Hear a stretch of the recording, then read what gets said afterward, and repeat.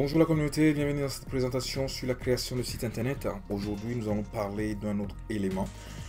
Pour information, nous utilisons euh, l'outil Shita de la plateforme Buderoll hein, pour, faire la pour faire de la création de site internet. Donc, l'élément dont nous allons parler aujourd'hui, c'est iframe. Pour cela, on va aller chercher les éléments. Donc, cliquez sur Ajouter, éléments, et vous aurez toutes ces fonctions. Et là, ici, on a iframe. Get response, bon, ça, c'est une fonctionnalité, on ne va pas en parler dans ce tuto c'est assez particulier, c'est pour utiliser euh, l'autorépondeur GetResponse. Euh, donc là aujourd'hui ce qui nous intéresse c'est iframe. iframe c'est quoi? Ça sert à quoi En fait? C'est une fonctionnalité qui vous permet d'importer d'autres sites euh, que vous pouvez afficher sur votre site internet. Et puis après vous pouvez également importer des codes. Ça vous permet par exemple d'importer vous pouvez récupérer des informations de Facebook que vous pouvez afficher également sur votre site ça vous permet de faire pas mal de choses. Alors, donc, comment ça se passe? Juste pour vous donner euh, une idée, je vais aller sur le site de l'agence, je fais ça, copier, tac, je remonte ça, je reviens là, et je vais dessus, je clique sur ce crayon, et je vais là, je vais mettre mon code, mon lien par exemple, je fais coller, je fais appliquer, je fais enregistré. Et déjà vous voyez hein, que, hein, que, que, ça apparaît hein, euh, comment ça s'apparaît sur comment ça apparaît sur le sur le site ok? Donc là par exemple là je fais ça. Donc ce qui est embêtant étant donné que la page elle est très longue euh, il y a la barre de scroll à côté ok? Voilà moi j'aime pas trop tout ce qui est scroll sur scroll j'aime pas trop ça m'agace. Mais bon des fois on peut pas on peut pas on peut pas plus que ça mais je pense que sur certaines, euh, des fois, il y a des iframes qui s'élargissent en fonction du euh, en fonction du contenu qu'il y a dedans. je là, et si je recharge cette page, vous allez voir notre iframe qui apparaît, ok, avec euh, le scroll là qui est là et puis l'autre scroll de la page principale, d'accord. Ça, c'est l'idée de l'iframe. Donc du coup, qu'est-ce que vous pouvez faire d'autre avec ça, ou plutôt quelles sont les autres fonctionnalités? Bon, disquette, euh, c'est pour enregistrer l'élément. Euh, ici, c'est pour accéder aux autres fonctionnalités. Superposition, ça c'est les fonctions de superposition. Pour centrer sur la page, pour dupliquer, pour cacher, pour supprimer. Donc, si on va regarder les autres fonctionnalités, on va regarder les fonctionnalités un peu plus en détail. Donc, on est dans réglages généraux. Réglages généraux, je peux mettre mon iframe en pleine largeur. Ok, je peux mettre l'activer, activer HTML en ligne. Bon, je ne sais pas vraiment la, comment la, euh, la différence, ce que, je ne sais pas ce que ça apporte au fait le HTML en, ligne. Donc, euh, je ne l'ai pas vraiment testé, donc euh, je ne pourrais pas vous informer un peu plus là-dessus. Mais n'empêche que vous avez la possibilité de mettre soit un lien, soit un code. D'accord? Et ça va faire pareil. Donc, tout dépend ce que vous avez. Si vous avez un lien, vous ramenez le lien. Si vous avez un code, vous le mettez là. OK? On fera le test tout à l'heure avec, euh, euh, euh, Google Maps. ou peut-être dans un autre tuto avec Google Maps. La taille, donc la taille, vous pouvez régler ça ici hein, avec les curseurs. Mais moi d'habitude, ce que je fais, c'est de le faire manuellement parce que c'est un peu plus, c'est un peu plus pratique pour moi de le faire manuellement. Ok, de le dimensionner en fonction de ce que je veux faire. Donc voilà, c'est facile à faire. donc il y a la taille, taille minimum. Donc taille minimum, en fait, c'est le minimum euh, ouais, c'est la taille minimum. Il n'y a pas, il a pas d'autre chose à, à dire. de bordure. Donc ce taille frame que vous voyez là, bon, il y a, euh, on va dire, euh, il a une bordure. On ne le voit pas très bien, mais il y en a quand même. Donc si j'augmente la taille, vous voyez là, il y en a. Si vous ne voulez pas votre bordure, tout ce que vous avez à faire, c'est de mettre 0 ici et ça disparaît. Ok autre chose. Donc après, vous avez aussi le type de trait que vous voulez, si vous jamais vous voulez avoir une bordure là-dessus. On peut fermer ça. Une animation, donc si vous voulez qu'il y ait une... Euh, on n'est pas encore sur l'animation. Ok, arrondir les coins. Donc là, euh, c'est lorsque vous avez par exemple... bon, euh, vous voulez arrondir les coins. Je vais mettre par exemple là, 50. Comme ça, ça va être un peu plus voyant. 50, 50, 50. Là, vous voyez, donc c'est assez arrondi, etc. Animation, si vous voulez avoir une animation d'entrée hein, de, de l'iframe, vous pouvez, vous pouvez faire ça là. Bon, ok, on va s'amuser à ça. On va mettre une animation. c'est toujours sympa. Alors, bon, on va mettre quelque chose qui... Ok, bon, voilà. Hein. Euh, configuration de balise, on n'en parle pas dans ce genre de tuto, c'est un peu plus avancé.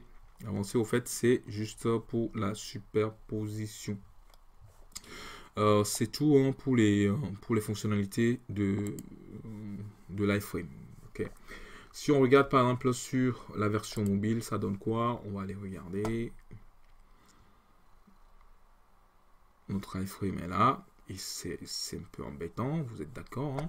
Donc ça, c'est la version mobile hein, du, du, site qui est en train de, de, s'afficher. Donc là, on va aller regarder. Est-ce qu'on peut faire quelque chose d'autre On va voir. Taille minimum. On va l'agrandir. Tac. On le met au maxi, au taquet. Parce que la page, elle est très longue. Donc du coup, il nous affiche la version, euh, la version mobile hein, de cette page. Malgré ça, il y a toujours une barre de scroll euh, dessus. Euh, donc si on veut si on veut mettre un peu de hauteur, etc. Hein, on peut le faire aussi. Ok, donc là, on a. L'arrondi, si on trouve que ça nous embête, on peut le virer.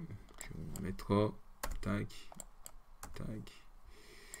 On enlève, on enlève, comme ça on a un truc carré. C'est nous qui gérons notre page comme on veut.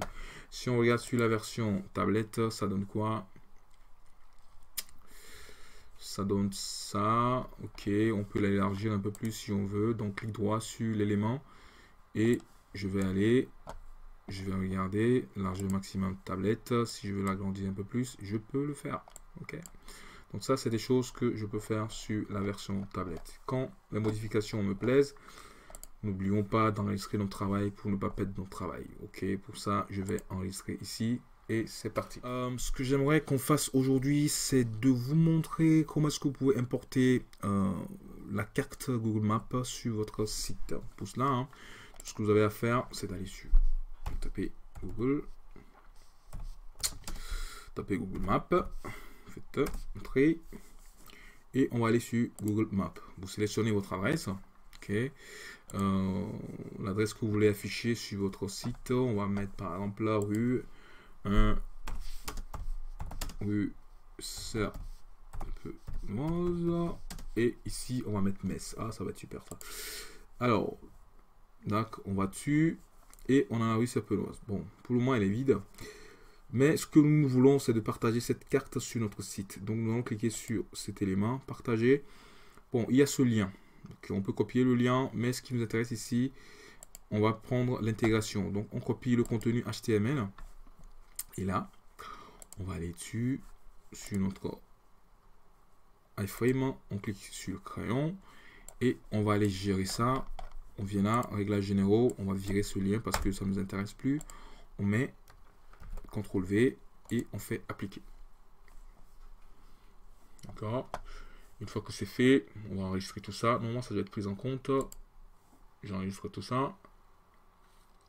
Ok. Je fais OK.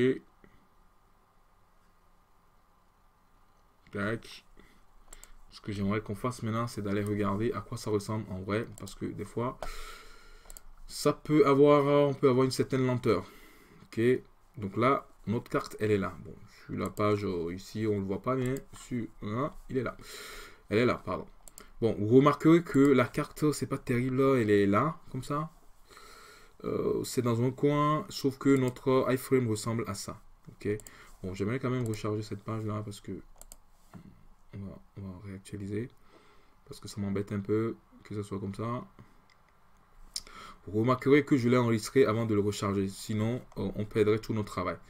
Donc, je vous fais remarquer que je vous fais remarquer que notre iframe elle est là. Vous voyez tout ça? Sauf que la carte est quelque part par ici. C'est pas ce qu'on veut faire. Nous, on veut pouvoir donner la dimension qu'on veut à notre carte. ok? Donc pour ça, on va aller dessus, on retourne sur cette carte-là, et on retourne sur réglages généraux, et on va faire quelques modifications dans notre carte. Donc quand je scroll dans cette carte-là, quelque part, c'est marqué width, donc c'est euh, la largeur, et height, c'est la hauteur. Donc ce que j'aimerais faire, c'est de mettre 100%. D'accord? Je vais mettre 100%. Et pareil pour le bas, je vais mettre 100%. Comme ça, ça va le rendre responsive en quelque part. Du moins, je pourrais l'adapter comme je veux. Ok, donc là, j'ai mon truc, c'est super. De là, regardez ce que je peux faire avec. Je lui donne la forme que je veux. Ok, ça c'est ce que j'aimerais faire. Je le centre sur cette page et j'enregistre à nouveau et on va aller regarder. Du coup, j'ai ma rue Serpenoise. J'ai mon point de repère qui est là, etc. La rue Serpenoise. Et c'est parti. Après, si vous y connaissez un peu en code, vous pouvez encore biduer, rajouter d'autres informations qui vont bien ressortir sur la carte. Pour le moment, nous, on se contente de d'afficher notre page et puis c'est tout. Après, on peut quelqu'un qui vient, il peut zoomer dessus, etc. Est-ce que vous pouvez intégrer vos vidéos Facebook en utilisant l'outil iFrame Donc pour cela, vous allez sur votre page. Vous allez sur votre, je ferme ça. Vous allez sur votre page Facebook hein, où vous avez publié vos vidéos et vos, vidéos. Donc euh, vous allez sur la publication, vous cliquez sur trois points et là c'est marqué en dessous intégrer un site. Vous cliquez dessus et vous allez copier le code. Ok, une fois que c'est fait, vous venez là, retournez sur votre, votre éditeur, vous cliquez sur le crayon, et là on va aller regarder. Vous allez coller le code ici. Donc celui-là on le vire parce qu'on n'en a plus besoin. Euh, vous vous rappelez quand on travaillait pour, quand on le faisait avec la carte, il y avait moyen de, euh, de le rendre, on va dire, responsive. C'est la même chose qu'on va faire ici. On va mettre 100% pour qu'on puisse lui donner la forme qu'on veut. D'accord Tac, tac, tac on supprime ça. Ok, super. Et bon, je vais appliquer. Normalement, ça s'applique automatiquement, mais euh, c'est mon habitude alors. Euh, donc une fois que c'est fait, bon, normalement ça devait changer, mais euh, vous comprenez pourquoi des fois il peut avoir un bug, mais c'est pas grave.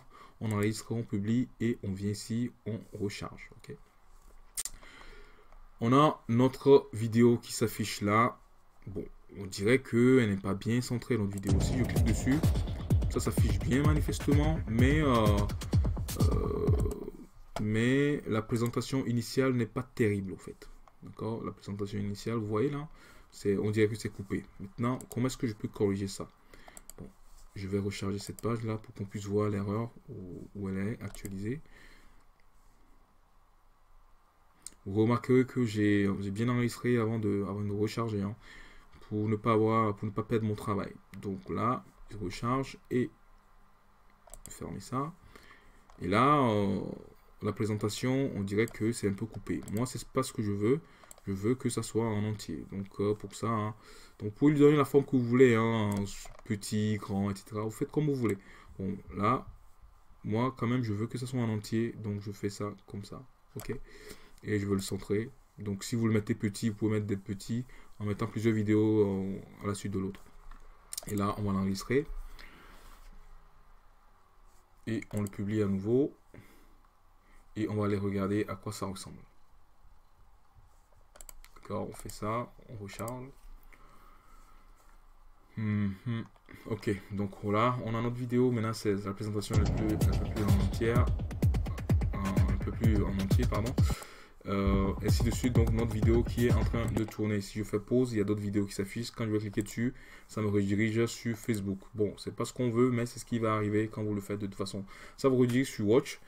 Et bon, les gens vont regarder votre vidéo et puis après ils vont regarder d'autres vidéos, à moins qu'ils cliquent sur euh, votre lien, le lien de votre page.